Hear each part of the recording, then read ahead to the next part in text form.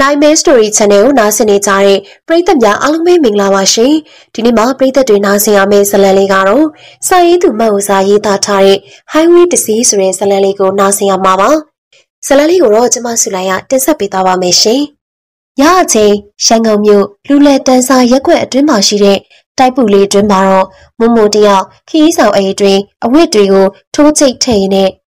ဟာကိုတယောက်နဲ့တော့စိတ်ပြတ်ဖို့ကောင်းလိုက်တာပဲ။ ခရီးကထွက်ရတော့မယ်ခုထိပြန်မလာသေးဘူးမိမိရေမိမိအဲ့ဒီလိုရှေးရွပြီးတော့သမီးဖြစ်သူကိုလှမ်းခေါ်လိုက်ပါတယ်သူမခေါ်တဲ့ကြောင့်ငါးနှစ်အရွယ်သမီးငယ်ဟာပြေးဝင်လာပါတယ်ရှင်းမိမိမိမိကိုဘာပြောမလို့လဲသူမအဝတ်ထည့်ရင်ကလှဲမကြည့်နိုင်အောင်ပဲတကောင်းကမှတောဆောက်နေလိုက်သမီးသမီးဖေဖေပြန်လာတဲ့အိမ်ထဲဝင်မခိုင်းနဲ့မမီတို့တိမ်တောင်းချနေပြီချက်ချင်းထွက်မှဖြစ်မှာသိလားသမီးဒီလိုပြောလိုက်တဲ့အခါမှာတော့သမီးငယ်က ဟုတ်မမေမိမိစောင့်နေမယ်နော်အဲ့လိုပြောရင်းနဲ့ပြေးထွက်သွားပါတယ်မမိုဟာယောက်ျားဖြစ်သူရဲ့ဘောင်းမီတွေကိုခောက်ထည့်ရင်အခြေကိုတန်မိုးမထားတဲ့ယောက်ျားနဲ့နေရတာတိတ်ဆိတ်ပြတ်ဖို့ကောင်းနေဘယ်ကိစ္စဖြစ်ဖြစ်အမြင်နောက်ကျတာကြီးပဲခုလေသွားရမှာသူ့မိကိစ္စဟိုကမနဲ့ဖြစ်ခွဲစိတ်တော့မှာဘာမှအလေးနဲ့မရှိတဲ့ယောက်ျားအဲ့ဒီလိုတပြေးတောက်တောက်ရေးယူလိုက်ပါတယ်ဒီအချိန်မှာပဲကာဟွန်တီးတန်ကြောင့်စတီကုံပေါ်ထိုင်နေတဲ့ မိမိကအပြေးထပြီးတော့ပါစာတကားကိုတွန်းဖွင့်လိုက်ပါတယ်။ကားပေါ်ကဆင်းလာတဲ့ဖခင်ကိုမြင်တဲ့အခါမှာတော့ဟာဖေဖေကနောက်ကျတယ်။မိမိစုနေပြီသိလားဖေဖေရဲ့အဲ့ဒီလိုနှကန်းဆူပြီးတော့ပြောလိုက်တယ်။လွင်ထုံးကသမီးဖြစ်သူရဲ့ခေါင်းကိုပုတ်တက်ရင်းနဲ့ဖေဖေနောက်မကျပါဘူးမိမိရဲ့မိမိမိကအဖွားကြီးကိုလေးလိုပဲတပြေးတောက်တောက်နဲ့လာဖေဖေတို့အိမ်ထဲဝင်ရအောင်အဲ့ဒီလိုပြောလိုက်ပါတယ်မိမိက ဖခင်ကိုလက်ကစီရင်ဟဲ့အင်းဖဖေအိမ်ထဲဝင်လို့မရဘူးမမေမှားထားတယ်မမေရေဖဖေပြန်လာပြီအဲ့ဒီလိုအတန်ဆဆာနဲ့လှမ်းပြုံးလိုက်ပါတယ်မမုံကလေးလံလာတဲ့ခီးဆောင်အိတ်ကိုမနိုင်တနိုင်မရင်းနဲ့အိတ်ခမ်းထဲကထွက်လာပါတယ်ဒါကူမြင်တဲ့လွင်ထွန်းကခတ်တုတ်တုတ်သွားပြီးတော့ခီးဆောင်အိတ်ကိုဆွဲယူလိုက်ပါတယ်သွားပါခုမှလာပြီးတော့နှမ်းဖြူနေနဲ့ ကြည်စမ်းအရှက်နဲ့လည်းလှိုင်နေရပဲခီးထွက်မှတည်ရနဲ့ဘာလို့တောက်လာတာလဲလွင်ထုံးကမိမဖြစ်သူလက်ကခီးဆောင်အိတ်ကိုဆွဲယူရေးဒင်နာပါတီပဲမို့ရဲ့အတောက်တော့ပါတာပေါ့ဒါပေမဲ့အေးစင်းတော့မင်းယောက်ျားဘလောက်ကောင်းမောင်းကျွမ်းကျင်လဲဆိုတာသိရင်မဟုတ်လားဟိုင်ဝေးလမ်းမှာမျက်စိမိတ်ပြီးတော့မောင်းပြအောင်မကြည့်လိုက်လေအဲ့ဒီလိုရှီကျဲကျဲနဲ့ပြန်ပြောပါတယ်ပြောလိုက်ဒီလိုကြီးပဲရှင့်ကိုရှင်တိတ်အထင်ကြီးနေကားမောင်းဘလောက်တော်တော် ကားဆိုတာစက်တက်ရေးရှင့်အချိန်မရင်ရှူရင်းမှုဖြစ်နိုင်တယ်ဒီကြားရဲတောက်ထားတော့ပို့ဆိုးတာပေါ့ရှင်ဟာအရာရအောင်ပေါ်ရီပို့ဆတိတ်နိုင်တယ်လို့လွင်ထုံးကခီးဆောင်အိတ်ကိုစူပါရုကားရဲ့နောက်ခန်းလေးကိုထိလိုက်ပါတယ်ကဲတခင်မလေးပေါက်ပေါက်ဖောက်တာရက်ပြီးတော့ခေါင်းထဲကိုကြွတော်မူပါကျွန်တော်မျိုးကြီးစီးတော်ရင်ထွက်ခွာဖို့အစ်စ်မှာပဲဗျယောက်ျားရဲ့ကြည်စဲမှုကြောင့်မမုံတယောက်မျက်စောင်းခဲရင်ရှေ့ကန်းကိုဝင်ထိုင်လိုက်ပါတယ်မိမိက အလိုက်သည့်ကားနောက်ခန်းမှာဝင်ထိုင်လိုက်ပါတော့တယ်။စူပါရုကားဖြူလေးဟာအဝေးပြေးလမ်းမထက်တရရိပ်ပြေးနေပါတယ်။မမုံကကားရှိကိုကြည့်နေရကရှင်တာယာရောစစ်ခဲ့ရလားအလိုက်မဲ့ရောချိန်ခဲ့ရလား။အဲ့ဒီလိုမေးလိုက်ပါတယ်။လွင်ထုံကကားကက်ဆက်ကနေကြားရတဲ့အင်္ဂလိပ်သချင်းကိုလိုက်ကြီးနေရကอืมလူလူလာမို့ရကိုကားကြောင့်ကိုတိနေတာပဲ။ရှန်ကုန်မြို့မှာ စိတ်အချရဆုံးကားပဲကွ။ဘာမှစစ်ဆေးစရာမလို။အဲ့ဒီလိုခပ်ပေါ်ပေါ်နဲ့ပြန်ပြောလိုက်ပါတယ်။မမိုဟာယောက်ျားဖြစ်သူရဲ့အပြောကြောင့်စိတ်လေးဟန်နဲ့တက်ပြေးရှိုက်လိုက်မိတယ်။မိမိလေးကတော့အေးစိတ်နေတဲ့ကားအဲကွန်ကြောင့်မျက်လုံးစင်းပြီးတော့ငိုင်မြီးနေရှာတယ်။ highway လမ်းပေါ်မောင်းနေလာတဲ့အချိန်ကြာလာတဲ့ခါမှာတော့လွင်ထုံးဟာအရက်ရှိန်တက်လာတဲ့အလျောက်ကားရဲ့အရှိန်ကိုပုံမြင့်ပြီးတော့မောင်းနေနေမိတယ် ကားကိုဖြည်းဖြည်းမောင်းဆက်မှာရှင်ဘလို့ဖြစ်နေတာလဲမိမဖြစ်သူရဲ့ဟန်တာမှုကြောင့်လွင်ထုံးဟာနှကန်းတုံယုံပြုံးလိုက်ပါတယ်မင်းဘာဖြစ်နေတာလဲမိမရာဒါမြမပြည်ရဲ့အကောင်းဆုံးနဲ့အမြန်ဆုံးလမ်းပဲကွအမြန်လမ်းမှာနွားလေးလိုမောင်းရောက်မှာလားမင်းဟာတကယ်အုံတော့ပဲကွာမမိုတယောက်စင်ချင်များလုံးနဲ့ယောက်ျားကိုဘာမှမပြောချင်တော့ဘူးဒါကြောင့်မျက်လုံးမိတ်ရင်ဖျားစာကိုရှုနေမိတယ်သူမ ဖျားစာကိုရွတ်ဆိုရင်းနဲ့တဏီကုံပင်ပန်းနေတန်းကြောင့်မိကနေအိပ်ပျော်သွားရှာတယ်။စူပါရုဖ်ကားလေးကအရှိန်ပြင်းတဲ့ထက်ပြင်းပြီးတော့ဟိုင်ဝေးလမ်းထက်မှာတရိပ်ရိပ်နဲ့ပြေးနေပါတယ်။ကားကမိုင်းတိတ်200ကျော်လောက်ရှောက်လာပြီ။ဒီအချိန်မှာပဲရုပ်ကြီးဆိုသလိုမမျော်လင့်တဲ့အဖြစ်တစ်ခုဖြစ်သွားပါတယ်။အေးစိတ်လိုနဲ့ကားအဲကုန်းတန်တိတ်ဆိတ်တဲ့ပဝင်းကျင်ကြောင့်လွင်ထုံးတယောက်တပြေးပြေးဂိုင်းမြည်လာသလို အဲကူဟောအရှိန်ကလည်းတက်လာပါပြီ။ highway လက်ရဲ့ခွေးတစ်ခုအရှောင်းမှာတော့လွင်ထုံးတယောက်လမ်းဖြောက်ထင်ပြီးစီယာရိုင်းကိုတဲ့တဲ့ကြီးကင်ထားမိပါတယ်။ကျွေကနေဆိုတဲ့ကွန်ကရစ်လမ်းနဲ့တာယာပုတ်တိုက်တန်ကြီးကစသိန်းထပွဲကြားလိုက်ရပါတယ်။အတန်ကြောင့်မမိုနဲ့မီမီတို့လမ်းဖြတ်ပြီးတော့မျက်လုံးပွင့်လာကြသလိုလွင်ထုံးတယောက်ထိတ်လန့်ပြီးတော့စီယာရိုင်းကိုအလီအမြန်ဆွဲလဲလိုက်ပါတယ် 130ကျော်နေတဲ့ကီလိုကအရှိန်မထိန်နိုင်မင်းနဲ့နဘေးရှိတောင်နယ်ရန်ကိုအရှိန်ပြင်းပြင်းဝင်းဆောက်ပါတော့တယ်။ချိန်လောက်လုံးလာတဲ့ဒုံကနေအတန်ကြီးနဲ့အတူသူတို့ကားလေးဟာကောင်းတစ်ခုလုံးချိန်မှပြီးတော့တောင်နယ်ရန်ကြီးနဲ့မျက်နှာအသွားရှာပါတယ်။စက္ကန့်ပိုင်းအတွင်းဆိုသလိုကားရဲ့တကားချာအနီးသွေးစီကြောင်ကြီးကတဆိတ်ဆိတ်ယူစီကျလာပါတယ်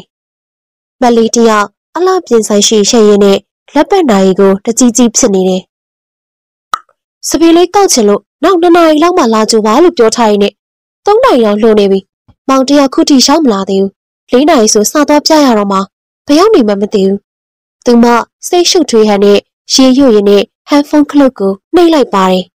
။နားနာကက်နားထောင်လိုက်တော့ဖုန်းကိုပြစ်ပေါက်ချင်လောက်အောင်စိတ်တူသွားမိတယ်။ဟာဒီလူကြီးမင်းနဲ့တိုးနေတာဘယ်နှကြိမ်ရှိပြီလဲ။စက်ပိတ်ထားတဲ့ကြီးပြောနေတယ်။ဖုန်းအောင်ပိတ်ထားတယ်ဆိုတော့ဘလောက်အရေးကြီးတဲ့ကိစ္စဖြစ်နေလို့လဲကွာ။ အိုးဒါလည်းဟုတ်ချင်မှဟုတ်မှာပါ။မောင်ကတိတ်တတိမေးတတ်တာဘက်ထရီအားကုန်လို့လည်းဖြစ်နိုင်တာပဲ။စိတ်ရှုပ်ဖို့ကောင်းလိုက်တာနော်။စာတင်ရမယ့်အချိန်ကလည်းကတ်နေပြီ။ငါဘာလုပ်ရမလဲ။ကြောက်ကြီးရဲ့ခက်နေတဲ့စိတ်နဲ့တူသူမဘာမှမတွေးတော့ဘူး။ခင်မုန်းတဲ့ကိုစိတ်ပူတကြီးစောင့်ဆိုင်နေရတာထက်စားရင်တက်စီငါးပြီးပြန်တာတင့်တော်မယ်လို့စဉ်းစားလိုက်မိတယ်။ဒါကြောင့်မက်လေးဟာမလဲမကက်မှာမောင်းနေလာတဲ့ Honda Fit အမျိုးအစား BB တက်စီတစ်စီးကို လက်တားလိုက်ပါတယ်။ဆရာဆယ်လဲကိုသွားချင်ပါတယ်။အမြက်လေးမောင်းပေးစမ်းပါရှင်။သူမပြောဆိုရင်းနဲ့ကားနောက်တကားကိုဆွဲဖွင့်ဝင်လိုက်တယ်။ဒရိုင်ဘာကဘတ်မန်ကလှမ်းကြည့်ပြီးတော့အဲကုန်းနဲ့သွားမလားရိုးရိုးသွားမလားမအဲကုန်းနဲ့ဆိုရင်တော့1500ပေးရမယ်ဗျ။အလင်းလိုနေတဲ့မက်လီဟာသူ့ရဲ့စကားကြောင့်ပုံမစိတ်ရှုပ်ထွေးသွားမိတယ်။အိုရှင်ဘာနဲ့မောင်မောင်ရောက်ဖို့ကအရေးကြီးတယ်။ညံမှုပဲလိုတယ်ရှင်မောင်းချင်တယ်လို့မောင်း အမကြီးကလာချွေးရပြန်နေတယ်အဲကုန်းနဲ့ပဲသွားမယ်တော့မှညံမှုကတော့တိတ်မဖြစ်နိုင်ဘူးအမရေလမ်းကြောတွေဒီလောက်ကျက်နေတာခုကကြောင်းလွတ်ချင်ကြီးဗျရန်ကုန်မြို့ကြီးမှာအမသွားချင်တဲ့နေရာကိုအမြဲဆုံးရောက်ချင်ကိုပိုင်လေးရင်တော့ဝယ်ထားလိုက်အမရေဒရိုင်ဘာရဲ့ငေါ့တလူစကားကြောင့်မလီတယောက်ဒေါသထွက်သွားပါတယ်သိတယ်သိတယ်လမ်းပေါ်ဘိန်းလိမ့်မိတာနဲ့လှဲလို့မရအောင်ကားချက်တာကျမသိတယ်ကျမလည်းအိမ်ကကားကိုယ်တိုင်မောင်းသွားနေတဲ့လူရှင့်လမ်းချက်တာချက်တာပဲရှင့်တော်ဝင်ရ ကားရှင်းတာနဲ့အမြဲဆုံးမောင်းပြီးဖို့ပဲနောက်ကျရတဲ့တဲ့စကဲကြောရှိနေသေးတယ်မောင်းပါတော့ဒရိုင်ဘာဟာသူ့မဒေါသထွက်နေမှန်းသိသွားတဲ့အတွက်ဘာမှမပြောတော့ပဲကားကိုစထွင်းလိုက်တယ်မလေးတယောက်ဘီဘီတစီရဲ့နောက်ခန်းမှာထိုင်ရင်းနဲ့စိတ်လုံးစွာလိုက်ပါသွားပါတယ်ချန်ရှိကားရက်တာနဲ့အလေးအမြန်ဆင်းပြီးတော့ခြံတကားကိုတောက်ဖွင့်လိုက်တယ်ဟဲကြည်စဲခြံထဲမှာကားရှိနေတာပဲဒါတော့မောကငါ့ကိုလာမကြုံနိုင်ဘူးတွေ့မယ်တွေ့မယ်ဟဲ မလေးဟာယောက်ျားကိုရှန်ထောင်မှုခြံထဲကိုခတ်တုတ်တုတ်ဝင်သွားလိုက်တယ်အိမ်တကားကိုတွန်းလိုက်တော့အသင်ပွင့်သွားပါတယ်အဲကန်းနဲ့မျက်လုံးဝေးကြည့်တဲ့အခါမှာတော့အရှိတ်တောင်မတွေ့ရပါဘူးဒါကြောင့်အပေါ်တက်လေကားကိုနှစ်ဆင့်ကျော်တက်သွားလိုက်တယ်အဲကန်းရှင်ရောက်ဖွင့်စရာမလိုပဲဟာထားတဲ့တကားကိုတွန်းဖွင့်မှုပြင်လိုက်မိတယ်အခန်းထဲကပြက်လွင့်လာတဲ့အတန်တွေကြောင့်သူမလက်တွေစက်ခနေတုံသွားရပါတယ်။ဟာနေတဲ့တကားကနေ ကြီးလိုက်တဲ့အခါမှာတော့နှွေးခေါင်းခေါင်းမူးကျူးပြစ်ခဲရတယ်လို့မျက်လုံးပြောင်ဝေမတက်ပါအသက်ရှူရမတက်။မောင်နဲ့သူမရဲ့မင်္ဂလာကရင်ထက်မှာချစ်တင်းနှီးနှောနေတဲ့မောင်ညင်းညူရှင်ရုပ်တန်တွေနဲ့အတူသူမမဟုတ်တဲ့မိန်းမတယောက်စပင်းတွေကပိုးကယိုဖြစ်နေတဲ့မိန်းမရဲ့မျက်နှာကိုစိတ်စိတ်ကြည့်ရင်သူမမျက်ရည်ဝဲလာတယ်လို့အသားတွေတစ်ဆက်ဆက်တုံလာတယ်။ဒုံကနေဆောက်ဖွင့်လိုက်တဲ့တကားတဲ့နဲ့တူသူမခြေလန်းကအိယာနာရှောက်သွားပါတယ်။ ဒါဘလို့ဖြစ်နေကြတာလဲ။ခွေးထက်ရှုံညက်တဲ့ညမကိုမအရင်ရဲ့ရှောက်ကြားနဲ့ဖောက်ပြန်ရလောက်လင်းသိပ်ရှားနေသလား။ဟင်ကဲဟာသူမဒေါသစိတ်ငယ်ရင်းရောက်ပြီးတော့မြမဖြစ်သူရဲ့ပါးကိုပဲပြန်ညာပြန်ရှိန်ချလိုက်ပါတယ်တစ်ချိန်တည်းမှာပဲသူမဆောက်တွန်းခံလိုက်ရတဲ့အတွက်အဲ့ရထက်နောက်ပြန်ရှိုင်းကျသွားပါတယ်မင်းဘာဆောက်ကျူးချိုးတာလဲမလေးဒါငါလွတ်လက်ခွင့်ငါဘာသာဘသူနဲ့ပတ်သက်ပတ်သက်မင်းနေရမင်းနေစမ်း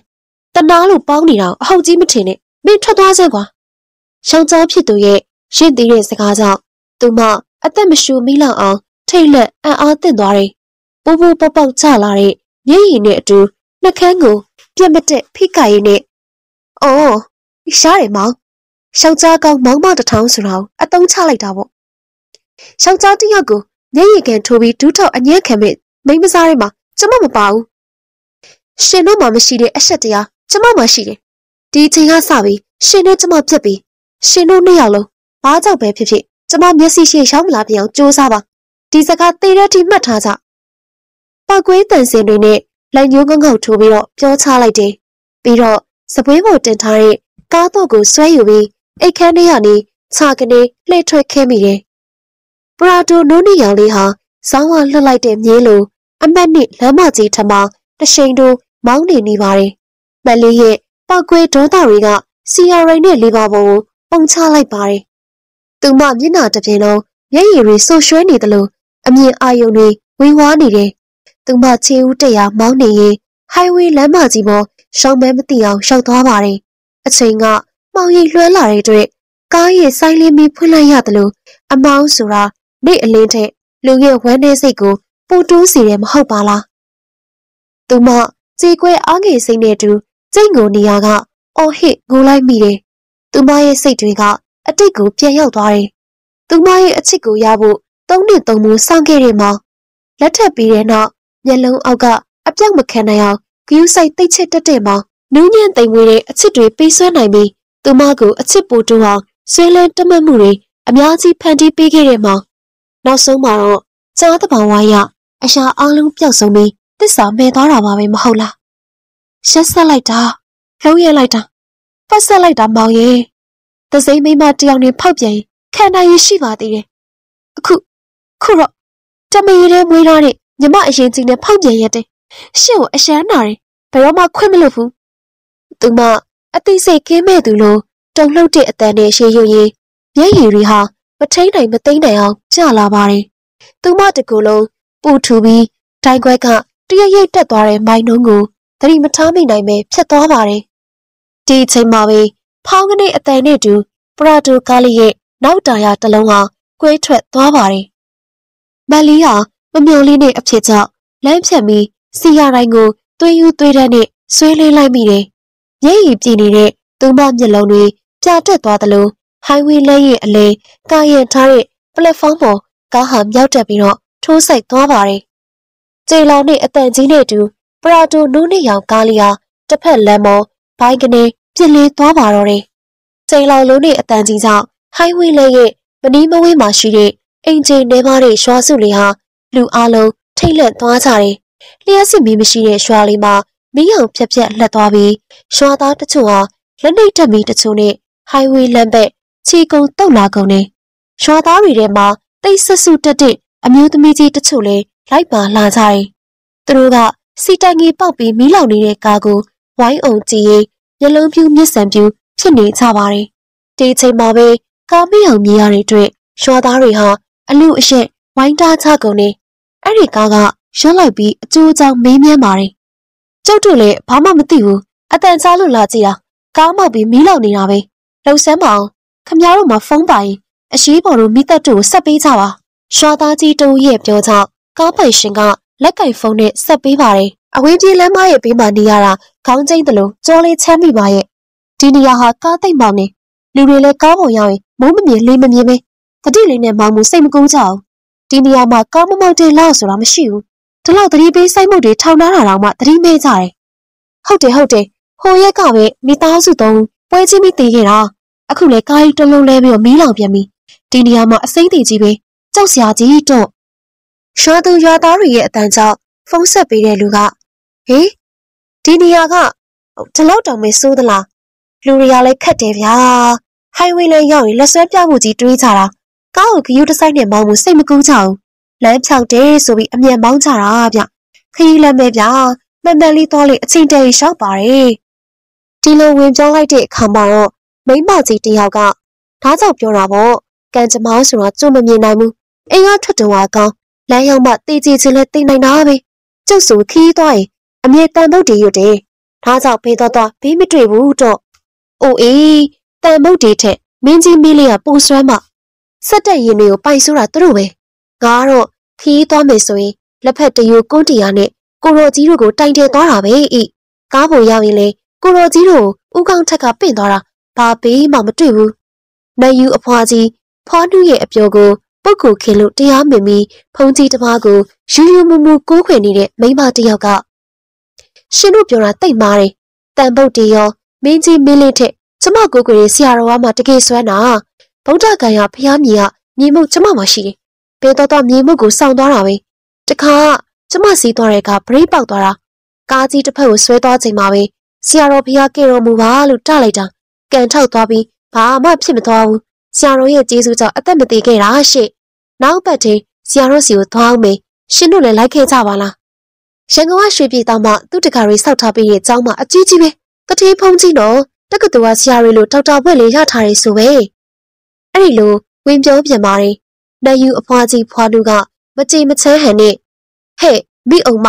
ညီကြောင်မသိရခမဲတတားလုံးရင်တနာကျွန်းတက်တယ်တဲ့ဖုံးကြီးကငငယ်လေးဆိုတာငါကြားထားတယ် ညီဘာလို့ရှိပြီးသားသွားနေလဲဆိုတာတရွာလုံးသိတယ်ငါကူတော်ကြီးတွေကိုမယုံကြည်ခြင်းနဲ့မစော်ကားနဲ့စော်ကားလို့ကတော့ညီးဆက်ကြောင်လှန့်ပြစ်လိုက်မှာဘာမှနေလဲအဲ့ဒီလိုအတန်မမာနဲ့ပြောလိုက်ပါတယ်ဖုန်ကြီးယူမအောင်မကပြန်လှန်ရှန်တွေ့ဖို့ပြင်လိုက်စင်ပါပဲအချက်ပေးအော်ဝတန်ကိုကြားလိုက်ရပါတယ်မိသက်ကားနဲ့မရှိမနှောင်ပါပဲရေးကားပါရောက်ရှိလာကြတယ်ဒါကြောင့်ဗုဒ္ဓတရားတော်ကိုရှုံကြည်တဲ့ဒေါ်မြဖြူနိုင်ယူအဖွားနု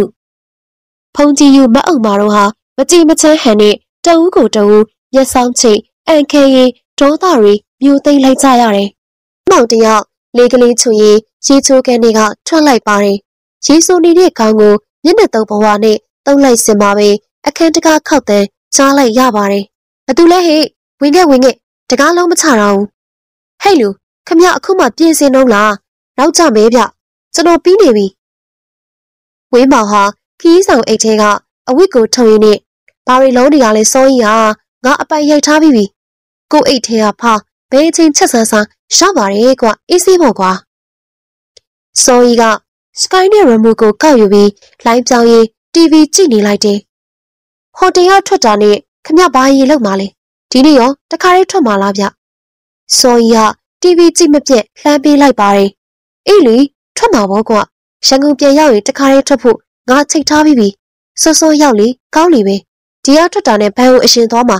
ငွေထုတ်ပြီးမှခြေလို့ရမှာပေါ့ကွာ။ကဲပြီးပြီသွားမယ်ကွာ။ဝေးမောင်ကတွက်လက်စွာပြောဆိုရင်းနဲ့ဘုဖနဲ့ကျိုးကိုခြိလိုက်ပါတယ်။ပြီးတဲ့အခါမှာတော့နှစ်ယောက်သားဟိုတယ်ချက်ကောက်လုပ်ပြီးတော့ဆိုင်ကယ်ကယ်ရီကိုစီနဲ့ထွက်ခဲ့ပါတယ်။ဘန်ဝီငွေထုတ်ပြီးတဲ့အခါမှာတော့ဝေရောက်ကောက်မဲ့နေရာကိုသွားကြပါတယ်။ချန်ရှင်းရက်ပြီးဟုံးတန်ပေးလိုက်တာနဲ့ ကိုဝင်းမောင်တို့ရောက်လာကြပြီကိုကျမလည်းသွားစရာရှိတာတော့မသွားဘဲစောင့်နေတာရှင့်။ကားတော်တိုက်ရှင်းရေးတေချာလောက်ထားပြီးရဲ့နော်။ချိုသားရဲ့ပြုံးနဲ့လူလက်ပိုင်းရွယ်အမျိုးသမီးတယောက်တကားဖွင့်ပေးရေးပြောလာပါတယ်။ဝင်းမောင်တို့နှစ်ယောက်သားသူ့ကိုပြုံးပြပြီးခြံထဲဝင်လိုက်ပါတယ်။ဝဲရောင်းကောက်ဖို့စီရန်တက်ထားတဲ့ဟိုင်းချက်မီနီထရက်ကားလေးကိုလှည့်ပတ်ကြည့်ကြပါတယ်။ပြီးမှငွေချေဖို့အိမ်ထဲဝင်ကြပါတယ်။ဒါကတောင်စီဖုန်းပေါ်တယ်နော်။ အုံနာဖို့လေးတစ်ချက်လောက်ပြပါအောင်ညီမ။အမျိုးသမီးကဖိုင်တွေးတွေးလှမ်းယူပြီးတော့ဝင်းမောင်ကိုပေးလိုက်တယ်။ဝင်းမောင်ကစားရစားတဲ့အားလုံးတေချာစစ်ဆေးပြီးအသိပြင်ထားတဲ့စာချုပ်မှာလက်မှတ်ထိုးလိုက်ပါတယ်။အားလုံးပြီးတဲ့အခါမှာတော့အမျိုးသမီးကိုနှုတ်ဆက်ပြီးကားဆက်နိုးထွက်ခဲ့ကြပါတယ်။ခမဒီကောင်ဘလောက်နဲ့ထွက်ဖို့ချိတ်ထားရလဲ။စိုးကြီးရဲ့အမေကိုဝင်းပေါင်ကကားမောင်းနေရကဘီယာလက်ကျန်မောချလိုက်ရင် ငါ90နဲ့ပြန်ထုတ်ဖို့လှုပ်ထားတယ်။ဝင်းမိုင်တို့မပိုင်ချင်းတော့မရိုက်ဘူးကွာ။အခုငါတို့ကောက်ခဲ့တာ90ခွန်လေ။သုံးသိန်းကခရီးစီထား။စေသိန်းအသာလေးပဲကွာ။အဲ့ဒီလိုဂုံယူကျိတဲ့ဟန်နဲ့ပြောလိုက်ပါတယ်။တိတ်လဲပြုံနေနေဦးခမဘီယာတောက်တာများနေပြီ။ဂူးဆိုင်မောင်းပြဟိုင်ဝေးလမ်းဆိုတာအနေများတယ်ဗျ။စောကြီးကမူယူပြီးကားမောင်းနေတဲ့ဝင်းမောင်ကိုတတိပေစကားပြောလိုက်တယ်။ဝင်းမောင်ကလက်တစ်ဖက်ကိုခါပြရင် ဘာမှအန္တရာယ်မရှိဘူးစောကြီးကမင်းမသိမြင်းမြင်းမှတ်ထား highway လမ်းဆိုတာအမြန်ဆုံးနဲ့အန္တရာယ်အကင်းဆုံးလမ်းပဲကွ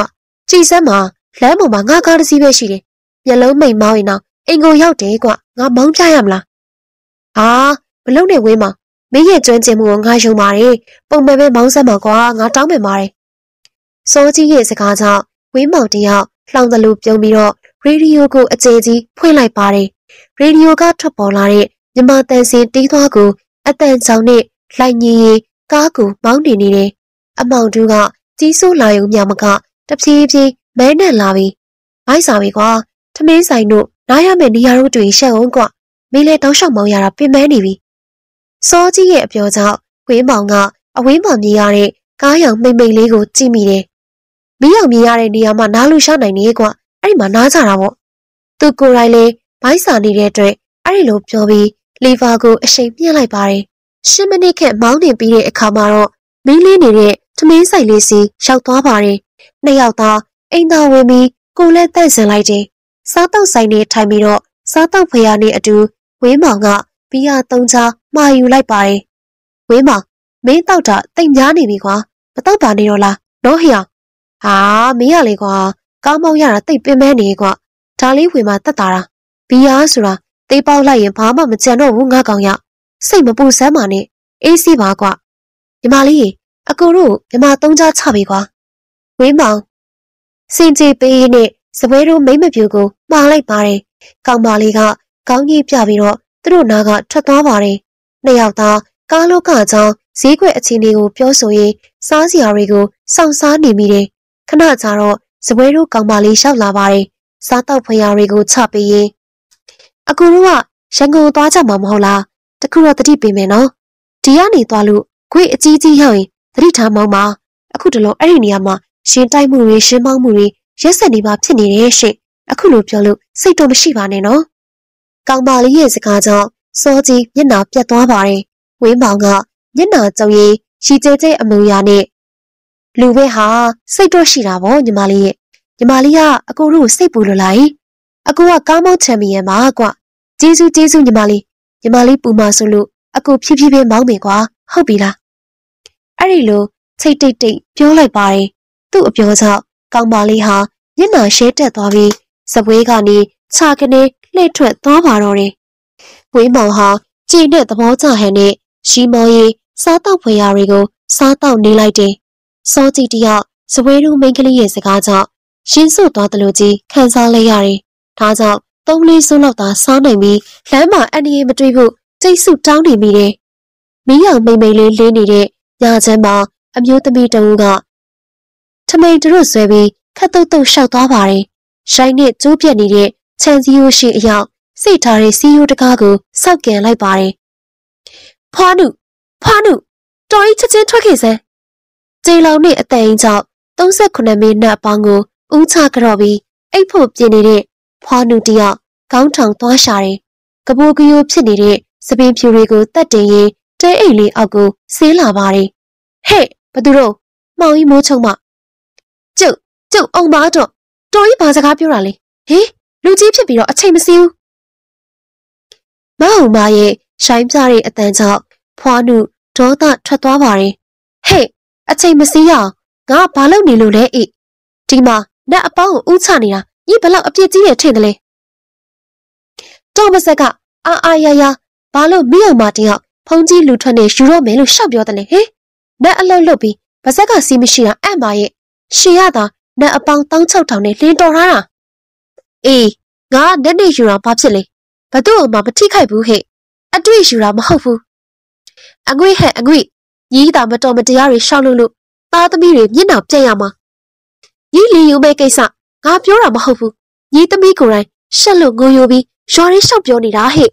ဘယ်နဲ့တော့ရွာမှာမုံဆိုးမတွေရှိနေပါရဲ့အားလုံးသူ့ဟာသူအေးချမ်းချမ်းပဲညီးလိုမိမရှိတာရွာကြက်တည်းရှုပ်တယ်အေးနိုင်ယူဖွားနုရဲ့စကားကြောင့်မက်အုံမဟောင်းရှမ်းပုံမိချဖြစ်သွားပြီးဖွားနုကိုလုံထွေးတပ်ပုတ်ပါတော့တယ်နိုင်ယူဖွားနုရဲ့စကားကြောင့်မက်အုံမဟောင်းရှမ်းပုံမိချဖြစ်သွားပြီးဖွားနုကိုလုံထွေးတပ်ပုတ်ပါတော့တယ် အော်ဟစ်တန်တွေကြောင့်ရွာသားတွေအပြေးလွှားလျှောက်လာပြီးရှံပွဲကိုဖြန့်ပြေးပေးကြကုန်ပါတယ်။ချိန်လောင်တဲ့အတန်ကြီးကြောင့်အော်ဟစ်ဖြန့်ပြေးတန်တွေရက်စဲသွားပြီးတော့ဟာကားမောက်ပြန်ပြီဟေးမောက်ပြန်ပြီအဲ့ဒီလိုအတန်တွေကညံ့ညံ့စီသွားပါတယ်။သူတို့အားလုံးအပြေးလွှားနဲ့ highway လမ်းဘက်သွားကြကုန်ပါတယ်။ကောင်းတစ်ခုလုံးကြီးမွားနေတဲ့ track ကားတစ်စီးရွာသားတွေဟာကားတကားကိုဆွဲဖွင့်ပြီးကြီးကြတဲ့ခါမှာတော့